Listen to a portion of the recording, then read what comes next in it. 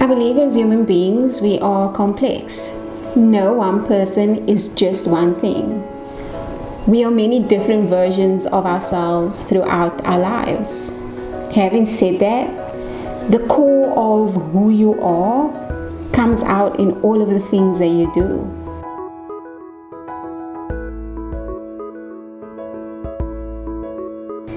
I'd say my family is extremely influential in who I am today. Growing up, we often went on road trips, and if I think back, that's probably when I first fell in love with travel. We would go on these long Sunday drives as a kid, which I hated. But now, I really appreciated all those mini vacations. There were times where I'd be sitting on the back seat, staring out the window, up at the stars, imagining all these fictitious characters and this world that I wasn't quite living at the time. I think that that really sparked this crazy um, drive towards storytelling and filmmaking today.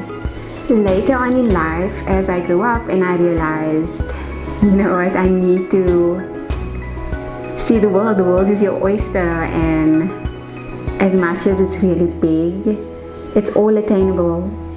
And my family being such a big part of my life, I ended up taking them with me everywhere I went. I carry them in my heart, and wherever I end up, they'll be right there beside me. Welcome to Mauritius Safari. On my journeys, I've come across cultures and stories. I've made friends all across the world. New York City! Oh my gosh, I love this city! Ah, Times Square! It's amazing. I love this city. This is like one of my favorite cities in the world. Right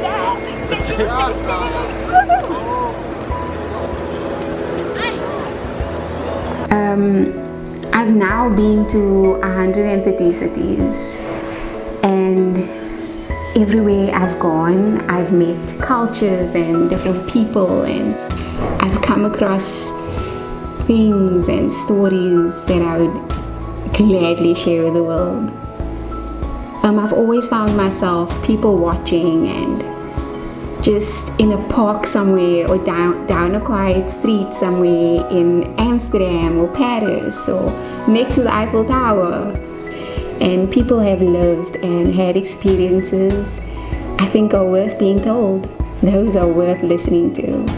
I found it extremely fascinating walking in the streets of New York or next to the Eiffel Tower in Paris and just watching people and just breathing it in the buzz of the city and seeing people fall in love and have all these things that we only see on TV today.